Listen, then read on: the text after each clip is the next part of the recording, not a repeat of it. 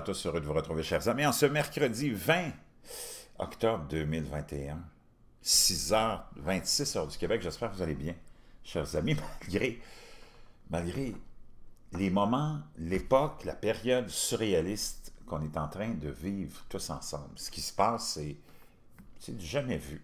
C'est du jamais vu. Puis on pourrait dire que tout ça a commencé, la, cette période surréaliste, cette phase qu'on est en train de vivre de transition phénoménale, historique, a commencé avec l'élection de Donald Trump, on pourrait dire, en 2016. Jusqu'à 2016, le monde était comme dans une espèce d'état euh, végétatif, où personne n'était conscient de ce qui se passait vraiment. Le petit système faisait son petit bout de chemin. Il n'y a rien qui semblait changer tout était politiquement correct, tout était désinfecté. Hein? Tout était propre, tout était rangé, tout le monde marchait dans, son rang. L'élection de Trump a changé tous les paradigmes, a bouleversé le monde, brassé la terre. Ça a amené énormément de discorde, distraction, beaucoup de division, polarisation, d'inconfort. On a vu l'inconfort aussi. C'est comme si tout ça avait été orchestré pour nous amener dans ce qu'on vit maintenant. C'était une phase inévitable de passer par là. Tout est planifié, il ne faut pas l'oublier. Si vous pensez que le système mondial, que les gouvernements que nos systèmes respectifs ne sont pas tous interconnectés et contrôlés par une poignée de gens, ben, je ne sais pas dans quel univers vous vivez, mais vous n'êtes pas avec nous autres. Si vous pensez que l'élection de Donald Trump est vraiment le, le fait du pur hasard et du résultat d'une démocratie, je ne sais pas dans quel monde vous vivez aussi. Tout ça a été orchestré pour nous amener où on est. Et d'ailleurs, dans les dernières, euh, dans les derniers milles de la présidence de Donald Trump, on a eu l'apparition de cette pandémie, le traitement qu'il en a fait lui, la propagation qui a commencé en Italie, le pays de la mafia, le pays de, du Vatican, le pays de la corruption, le pays probablement le plus corrompu, le plus pourri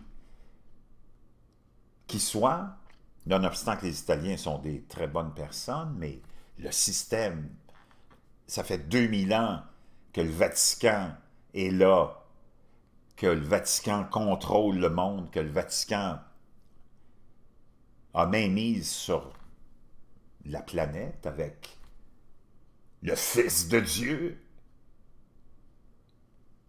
installé à son Saint-Siège, les croisades, les guerres, la domination, le contrôle de tous les gouvernements qui sont tous les politiciens, des acolytes de la religion et des religieux, parce que c'est comme ça qu'on contrôle les populations, avec l'idée d'un homme invisible dans le ciel qui surveille tout ce qu'on fait, de chaque seconde, chaque minute, chaque heure de toutes nos vies. C'est comme si le grand créateur avait rien d'autre à faire que d'espionner les gens, sauf les élites, naturellement, qui, eux, se permettent tout, que ce soit les élites artistiques, les élites économiques, les élites politiques.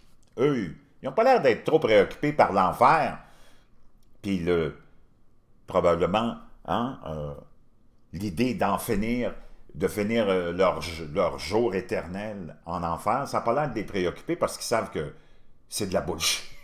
Il y a juste les pauvres ignorants qui ont peur de l'enfer. Le plus bel exemple, c'est le deuxième commandement. Tu ne tueras point, sauf si tu es un dirigeant, si tu es le pape, si tu es un président qui décide d'aller en guerre, ou si tu es un petit soldat qui a un uniforme de soldat, puis qui a une paye de soldat, puis un salaire de soldat, qui peut aller tuer, au nom, au nom du président, puis du pape, puis de l'État.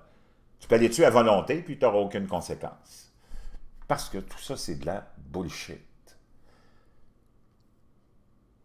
Donc, cette pandémie-là qui commence dans le pays le plus corrompu,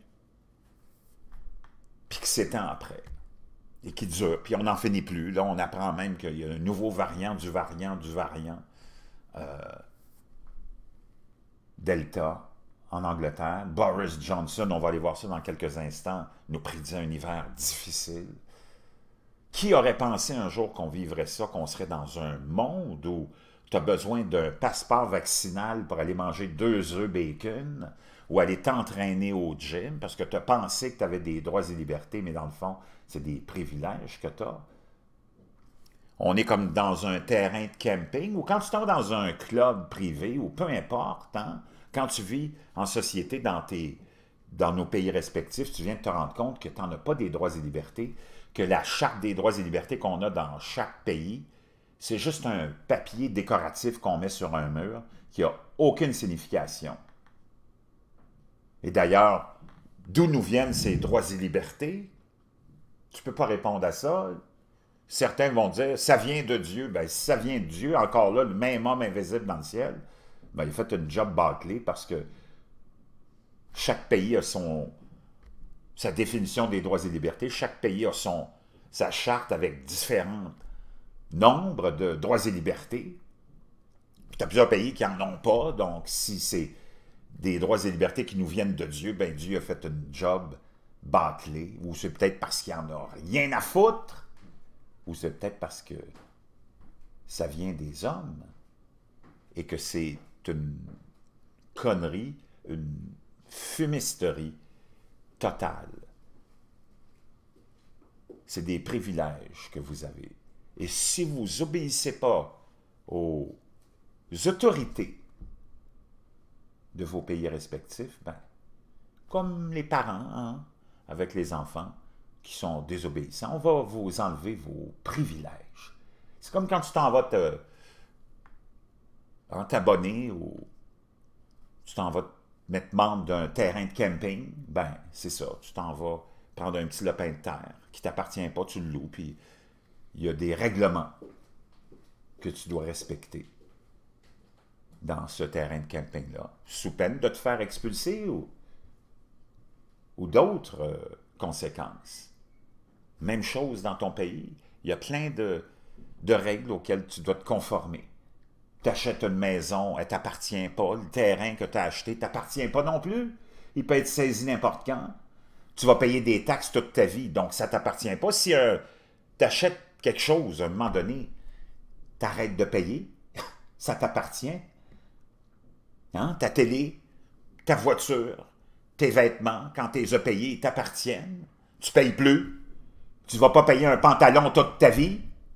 Tu vas pas payer un chandail toute ta vie une paire de chaussures toute ta vie, mais sur ton terrain, sur ta propriété, tu vas payer des taxes jusqu'à la fin de tes jours. Puis celui qui va la reprendre après ça, à la fin de tes jours, va payer des taxes jusqu'à la fin de ses jours. Donc, il n'y a rien qui t'appartient. Tout appartient au roi. Puis toi, tu es un valet. C'est ça qui est important de comprendre. Donc, si je reviens à Donald Trump, si vous pensez qu'il était le fruit du hasard puis de du résultat du, du démocratie. Je ne sais pas d'où vous arrivez. Et c'est lui qui a initié le vaccin. Puis il a fait ça vite. Il a mis plein d'argent, 300 milliards de dollars, pour les compagnies pharmaceutiques, comme s'il n'y avait pas assez d'argent, ces gens-là comme s'ils ne faisaient pas assez d'argent déjà avec des produits bidons. À chaque jour, on met un nouveau produit pour une même maladie ou une nouvelle maladie. Ou... tous ces produits-là sont dangereux pour la santé. D'ailleurs, quand ils font de la publicité à la télé, la liste des effets euh, contre-indiqués aussi pour plusieurs personnes quand ils présentent un médicament à la télé, surtout américaine, c'est à l'infini. Tu te demandes pourquoi le monde, prend ces médicaments-là. Ils sont plus dangereux que la maladie elle-même. Donald Trump, on pensait, ça semblait, comment on présentait ça, on s'assemblait qu'il voulait avoir le vaccin avant la fin de la campagne électorale. Donc, Ça semblait être bâclé, ça semblait être poussé. C'est ça qu'on entendait de la part des démocrates qui étaient en campagne électorale, Joe Biden et sa colistière Kamala Harris, qui disaient si c'est Donald Trump qui me dit de prendre le vaccin, je ne le prendrai pas. D'ailleurs, il y a plein de, de, grands titres comme ça. Je vais juste vous les montrer. Ce n'est pas des fake news. Si tu fais Google Kamala Harris, don't trust the vaccine. Boum. Puis là, tu t'en vas. C'est plein de nouvelles. CNN. Si c'est Donald Trump qui me dit de prendre le vaccin, je ne le prendrai pas. Et c'est plein.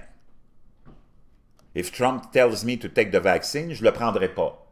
Et pourtant, c'est le même vaccin. Il n'y a pas 50 000 vaccins. Parce qu'on est en campagne électorale. Là, on veut naturellement jouer avec ça. Mais tout ça, c'est de la politique, naturellement. Hein? C'est de la politique. Kamala Harris qui dit et c'est plein, plein, c'était plein, puis ceux qui ont suivi la campagne, vous le savez. Je ne croirai pas sur parole. Kamala Harris dit qu'elle ne fera pas confiance à Trump seul sur un vaccin contre le coronavirus. Ben, c'est parce que c'est lui qui a financé, c'est son gouvernement, son administration qui a envoyé 300 milliards de dollars aux compagnies pharmaceutiques qui n'en ont pas besoin. Ils font déjà des trilliards de dollars. Puis elle a dit, non, si c'est Trump qui me dit de prendre le vaccin, je ne le prendrai pas. Ben, c'est parce que c'est contre toute logique, mais enfin, en politique, il n'y a pas de logique. On est arrivé maintenant, donc c'est Donald Trump qui a initié ce vaccin-là en vitesse, puis il a été homologué, ou plutôt euh, mis à la disposition, où on a dit aux gens qu'on avait trouvé un vaccin une semaine après l'élection. Et c'est l'administration, la nouvelle de Joe Biden et Kamala Harris qui en a hérité. Puis soudainement, oh, parce que c'est eux qui nous disent de se faire vacciner, là, c'est correct. Voyez-vous comment ça fonctionne en politique? C'est comme ça. Donc, on pourrait dire que ça a tout été initié par Donald Trump, cette histoire de vaccin-là, que c'est lui qui a mis ça entre les mains de, de la politique, puis de la suite des choses, puis qui fait que maintenant, tu es dans un monde euh, vraiment post, comment on pourrait l'appeler, orwellien, où tu te retrouves dans une bonne grande partie de nos pays respectifs, avec des obligations d'être vacciné si tu veux garder ta job, obligation d'être vacciné si tu veux aller au cinéma, aller au gym. Donc, on pourrait blâmer Donald Trump parce que mettez-vous dans le scénario suivant où il n'y aurait pas eu 300 milliards, puis on n'aurait pas mis ça rush-rush, comme si ça avait l'air tout d'être planifié. Un vaccin à développer, ça prend en, moyenne 3 à, ou 3 à 5 ans, ou même 5 à 10 ans. Qu'est-ce qui serait arrivé? Comprenez-vous? On n'aurait pas eu de vaccin, on aurait continué à vivre. On aurait pris des mesures, parce que ça, c'est un, le, COVID-19, c'est un virus de grippe pulmonaire très sévère. Mais qu'est-ce qui serait arrivé si on n'avait pas eu cette planification-là? C'est une question qui est intéressante à se poser. Mais on n'a pas de réponse. Mais on peut juste imaginer. Tu n'aurais pas eu ce monde post-orwellien dans lequel on vit parce que tu n'aurais pas eu de vaccin. Vraiment mystérieux tout ça. Donc, si vous pensez que Donald Trump est arrivé là par le pur hasard d'une élection démocratique, repensez-y comme il faut. Ceci étant dit, on vit une période surréaliste, comme je vous le disais. Donc, la dernière période normale, disons, c'est avant la présidence de Donald Trump. Donald Trump est venu, selon ce que moi je pense, est venu établir ce nouvel ordre mondial qu'on est en train de vivre. Puis je peux te dire une chose, tu n'en auras plus jamais des euh, présidences comme celle de Donald Trump. on n'en a plus besoin pour le système mondial. Là, on s'en va vers quelque chose d'autre. Et tu te rends compte que tu ne peux rien faire non plus. Tu n'es pas le propriétaire de ta maison, tu n'es pas le propriétaire de ton terrain, puis tu n'es pas vraiment le maître de ta vie non plus. Non seulement tu as un, code civil, tu as des lois euh, juridiques, euh, criminelles, qui fait que, naturellement, tu ne peux pas aller voler, tu ne peux pas aller tuer sans conséquence, tu ne peux pas faire ceci, tu ne peux pas faire cela, mais ça va plus loin. Tu ne peux pas vivre comme tu veux si l'autorité en place décide d'établir des règles comme celles qu'on est en train de vivre à travers le monde. Si tu n'es pas vacciné, tu vas perdre ta job. Si tu n'es pas vacciné, tu peux pas aller au restaurant, tu peux pas aller à gauche, à droite, tu peux pas mener ta vie. On veut absolument que tu te fasses vacciner. C'est correct, moi j'ai rien contre ça. Mais c'est juste pour vous faire réaliser que tu es dans un monde dans lequel tu pensais jamais être. Qu'on n'en viendrait jamais à ça, puis on en est là. Donc, c'est important de réaliser que tu as zéro, zéro contrôle sur ta vie, puis zéro, zéro droit de propriété sur n'importe quoi. Sauf sur tes vêtements, puis les choses que tu achètes, puis que à un moment donné, peut-être qu'on t'obligera à payer le chandail puis ta paire de chaussures jusqu'à la fin de tes jours. Si le gouvernement prend possession des commerces, puis nationalise des commerces, c'est sûr que tu vas payer tes bobettes jusqu'à ce qu'il y ait trop de trous dedans, puis que tu, dois, tu sois obligé de jeter la poubelle, parce que la marde sort par les trous. Maintenant, il y a un mouvement mondial maintenant. Oublie les crises économiques, c'est de la marde, ça, c'est juste de la...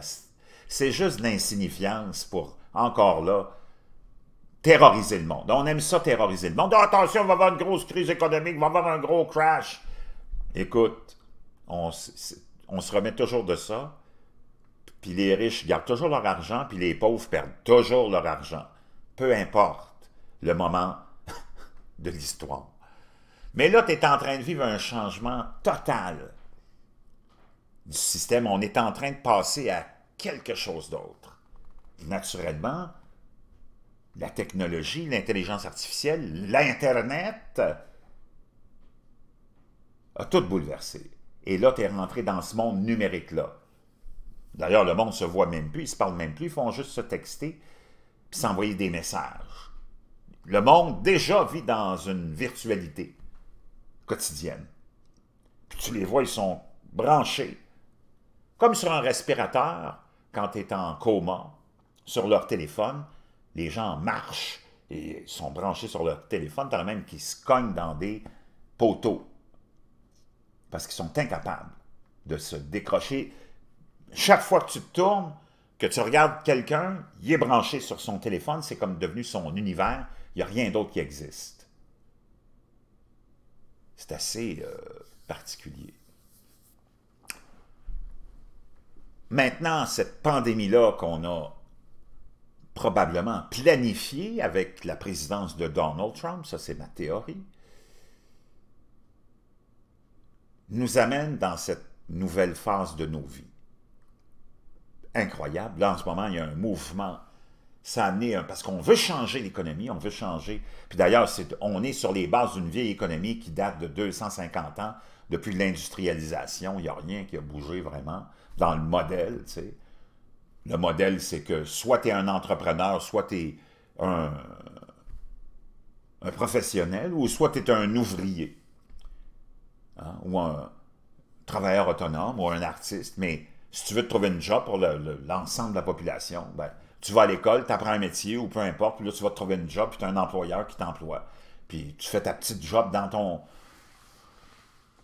lieu de travail dans une usine, un bureau, peu importe, un magasin, un restaurant, puis tu reçois ta paye après avoir travaillé. Maintenant, tout ce modèle-là vient de s'écrouler. On assiste à, je t'en ai parlé hier, en ce moment, il y a un mouvement qui s'appelle la grande démission. Puis moi, j'en fais partie. Je ne sais pas si vous en faites partie. Moi, j'ai foutu une de mes jobs là depuis 10 ans que j'étais là, mais ça fait quoi, 30 ans que je suis serveur. Je faisais quand même de l'argent, mais avec la pandémie, c'était plus vivable, le métier de serveur, des, le masque toute la journée, demander aux gens s'ils ont leur passeport, leur carte d'identité, jouer aux policiers, jouer à la Gestapo. Moi, ça m'intéressait plus. C'était vraiment devenu déplaisant. Puis d'ailleurs, aux États-Unis, au mois d'août, il y a eu 5 millions de travailleurs qui ont quitté le secteur de l'hôtellerie, du commerce du détail et de la restauration. Juste aux États-Unis, 5 millions. Puis dans le monde, c'est des dizaines et des dizaines de millions. Puis moi, j'en fais partie. Puis il y en a de gens de d'autres domaines aussi qui ont réalisé, qui ont fait une prise de conscience de leur vie pendant cette pandémie-là, hein, où on a été forcé de rester à la maison parce qu'il y avait un couvre-feu. Imagine-toi, pendant 3, 4, 5 mois, on a vécu sous un couvre-feu. Fallait que tu rentres chez vous à 8 heures, à 20 heures pour les cousins français. Là. À 20 heures, fallait que tu sois chez toi. Wow! Et ce mouvement-là, c'est historique. Puis moi, j'en fais partie parce que tu as maintenant de nouveaux modèles qui existent. Moi, j'ai commencé Uber, j'ai commencé DoorDash aussi, c'est extraordinaire. Ça te permet beaucoup de flexibilité, beaucoup de liberté. Tu travailles quand tu veux. Tu es dans ta voiture, tu n'as pas d'interaction vraiment avec le monde. Moi, je t'avoue que des fois, j'en avais plein de casques, surtout dans cette folie de, de toutes sortes d'obligations que tu as. le masque toute la journée, c'est un, enfer sur Terre à vivre. C'était devenu vraiment déplaisant. Uber, tu es dans ta voiture, tu reçois ta commande, tu t'en vas chercher la commande, tu l'amènes chez le client, tu as le montant déjà que tu viens de recevoir, puis tu vois le montant qui s'accumule à tous les à toutes les commandes que tu fais. Tu deviens un travailleur autonome. Moi, je l'étais déjà à cause de mes chaînes YouTube. Puis là, tu t'en vas faire ta petite livraison. Puis tu peux mettre dans ton rapport d'impôt à la fin toutes les dépenses, le, paiement de ta voiture, l'essence, les pneus, ta nourriture, tes vêtements, naturellement l'entretien de ta voiture, tu peux en mettre des dépenses, donc tu payes moins d'impôts. C'est ça l'avantage. Tu es libre, tu travailles quand tu veux. Une journée, tu ne veux pas travailler, tu n'y vas pas. Une journée, tu veux travailler trois heures, tu y vas. Tu vois le montant que tu fais, le montant auquel tu es rendu. Quand tu en veux plus, tu travailles plus. Si tu as atteint ta limite, puis que tu es satisfait, t'arrêtes. Tu te mets un petit montant par semaine de côté dans un compte en banque pour payer tes impôts à la fin de l'année. Et ce mouvement-là est en train de prendre de l'ampleur parce que les travailleurs ont été abusés et exploités trop longtemps. OK? Puis ça ne reviendra pas en arrière, que les employeurs augmentent leur salaire maintenant, il est trop tard. Ils ont perdu parce que de toute façon, même s'ils augmentent leur salaire, tu es toujours pris au même endroit. Imagine, tu es 8 heures, 10 heures dans le même endroit, alors que là, tu es dans ta voiture, tu te promènes, tu veux prendre une pause, tu mets ton, ton application en pause, tu reviens, tu recommences. Tu n'es pas coincé au même endroit, tu n'as pas la structure qui est là, tu n'as pas les bosses dans le cul. Puis tu as plein, tu comprends ce que je veux dire? C'est un autre environnement. Donc, de penser qu'en augmentant les salaires, parce qu'ils ont enculé le monde trop longtemps, les employeurs, qu'en offrant des salaires, des bonus, les gens vont revenir, up your trois petits points. Les gens n'y reviendront pas. Parce qu'ils ont découvert autre chose. J'en connais qui font de la livraison pour Amazon. Ils font 30 pièces de l'heure, eux autres aussi. Avec de la liberté, des conditions de travail pas mal plus intéressantes. Donc, tout est en train de changer. On est en train de vivre plein de changements politiques. On le voit, on s'aligne tous vers plus de dictature, plus de conformisme, plus de politiquement correct. Moi, je n'ai rien contre ça. De toute façon, tu ne peux rien y faire. Comme disent les Anglais, if you can beat them, join them. Tu peux vivre dans le pays le plus totalitaire, tu peux réussir à faire ta vie, puis être heureux, puis être prospère, mais il faut que tu te plies au système. Tu peux pas t'opposer au système. De toute façon, tu battras jamais le système. tu vu la grosseur du système, la grosseur des armées, la grosseur des services de police, la grosseur des cours de justice. Tu ne seras jamais gagnant, mon chum. Jamais. Tout est bâti à partir de l'Église catholique, puis du judaïsme, les trois grandes religions se sont assurées, avec les dirigeants, de construire un système dans lequel tu vas être au service de ce monde-là jusqu'à la fin de ta vie. Il n'y a rien que tu puisses faire. Combien de révolutions il y a eu, puis de révolutionnaires, ça n'a rien changé parce que c'est eux autres qui les ont créés, puis c'est eux autres qui les ont envoyés pour amener le monde à un autre niveau. Il faut arrêter d'être naïf, puis c'est pour ça qu'il ne faut pas s'occuper de la politique, puis c'est pour ça qu'il faut s'occuper de nos fesses. Mais c'est important de comprendre comment ça marche. Puis là, c'est important de comprendre ce qui s'en vient, sinon, vous allez tout être dans marde. Puis vous allez vous retrouver dans la misère parce que ce qui s'en vient, c'est pas Jojo. Donc, tu as besoin de t'adapter. Arrête de perdre ton temps à diviser en politique le monde. Arrête de perdre ton temps, ton temps personnel à passer tes journées à regarder ce qui se passe en politique. C'est de la merde. Il n'y en a pas un politicien ou politicienne dans le monde qui est là pour toi. Ils sont tous là, dirigés, sont tous là comme marionnettes du petit club select qui nous gouverne. Donc, perds pas ton temps avec ce monde-là. Ils n'en valent pas la peine. Occupe-toi de ton cul et regarde ce qui s'en vient. faut que tu t'occupes des nouvelles parce qu'il faut que tu saches ce qui s'en vient.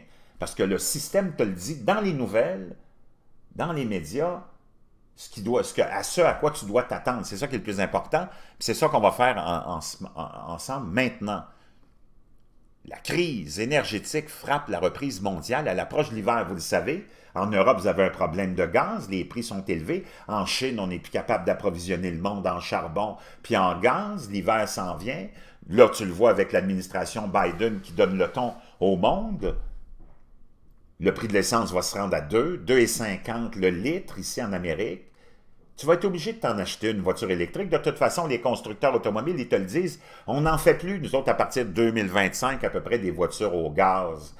Donc, prépare-toi à payer cher, prépare-toi à payer ton énergie chère, on te le dit. Ça va te coûter une fortune, puis ça ne reviendra pas en arrière. Que tu sois au Québec, en France, qu'on te dise qu'Hydro-Québec t'appartient, c'est tout de la merde. Il n'y a rien qui t'appartient. Penses-tu qu'Hydro-Québec, ça t'appartient? Ils ont pris ton argent, tes taxes tes impôts pour payer des riches pour nationaliser Hydro-Québec, mais là, ça appartient au système. Penses-tu qu'ils vont donner des cadeaux? C'est vraiment être naïf. Il n'y a rien qui t'appartient. C'est tous des vieux concepts pour enrouler le monde puis dans farine. Tu oh, les nationalistes, Hydro-Québec, ça nous appartient. Mais ben, si ça nous appartient, comment ça se fait qu'on paye? Il n'y a rien qui t'appartient, le cave. La crise énergétique frappe la reprise mondiale à l'approche de l'hiver. Les pénuries d'électricité éteignent les lampadaires et ferment des usines en Chine. Ça, c'est l'Associated Press qui nous apprend ça aujourd'hui. Les pauvres au Brésil choisissent entre payer pour la nourriture ou l'électricité. Les agriculteurs allemands de maïs et de blé ne trouvent pas d'engrais fabriqués à partir de gaz naturel et les craintes grandissent que l'Europe devra rationaliser l'électricité si l'hiver est froid, puis l'hiver va être froid.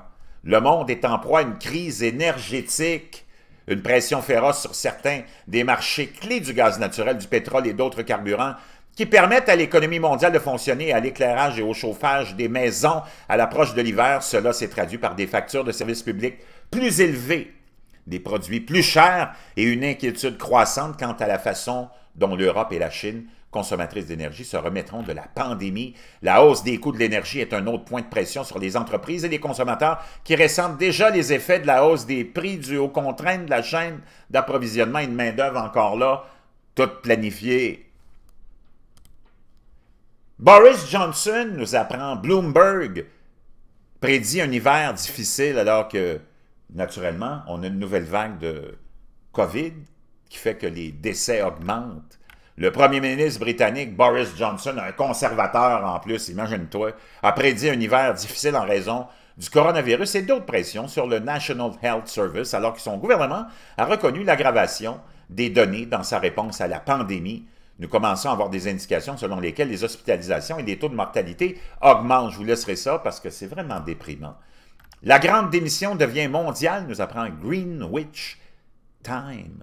Aux États-Unis, le phénomène surnommé la grande démission semble s'accélérer. Un record de 4,3 millions de travailleurs américains ont quitté leur emploi juste au mois d'août, selon les nouvelles données du ministère du Travail. Un chiffre qui passe à 20 millions si on le mesure jusqu'en avril. Puis en Europe, c'est pareil. Je vais tout vous laisser les liens. Vous irez, vous irez lire ça vous-même, la suite. Les perturbations de la chaîne d'approvisionnement sont-elles le début de la fin de la mondialisation? Du commerce hein, nous apprend de Hill ou nous demande le Hill. Opinion contributor Une Gordon Chang conservatrice. Les experts suggèrent que les problèmes sont temporaires. 584 container Mais on verra bien, hein. Mais, euh, ça semble être quelque Disruptions chose in the bulk cargo sector look to be even worse. He said, quote, experts suggest the problems are temporary. For instance, Bloomberg columnist Brooke Sutherland le maintains that three weeks of declines in freight rates tells us, quote, the worst may be over le for the supply chain that shipments Puis là, les gens commencent déjà à dire, les, les représentants des médias et des dirigeants. Oh, vous êtes en train de vous plaindre que vous ne recevez pas votre, euh, Treadmill years. latent. Vous êtes en train de vous plaindre que, oh mon Dieu, je ne peux pas avoir tel manteau dans toutes les couleurs, puis ainsi de suite. Donc, ils sont en train de vous dire que vous êtes des plaignards en plus, alors que c'est eux autres qui vous ont habitué à consommer au maximum. Procter Gamble Ce qui nous fait sa taille Tomber sous le charme d'une voiture, c'est bien plus que ses finitions faites à la main ou son habitacle Ikea spacieux. C'est le plaisir qu'on ressent au volant. Le Mazda CX-5 à l'habitacle raffiné. Des fabricants de meubles aux, ex- aux épiciers, les plus grandes entreprises du monde utilisent leur, pro- leur poche profonde, étendent leurs opérations mondiales et dominent les parts de marché pour se protéger de l'effondrement de la America chaîne needs d'approvisionnement. Ça, c'est 5G Wall Street qui nous apprend ça. Le matériel agricole est rare et cher. La grève de John Deere inquiète in les agriculteurs. Et les gens thésaurisent les pénuries alimentaires 4G, sont les- le prochain um, resserrement de la chaîne d'approvisionnement. when we think about 5G, Problème de chaîne d'approvisionnement, il y a vraiment 5G des problèmes partout. Donc, c'est CBS aussi qui nous apprend ça. Il y a plein de liens comme ça. Je vais tout for La crise 5G. énergétique frappe la reprise mondiale. Mes amis, on Um, veut utiliser 5G le in our langage industry biblique. is expected to be as Tout ce qui s'est passé impactful avant, c'est as des railroads, peanuts, comme on ports, dit comparativement à ce qu'on highways est en were train in de vivre. past Préparez-vous, generations. So parce you que do le pire need est à venir. infrastructure and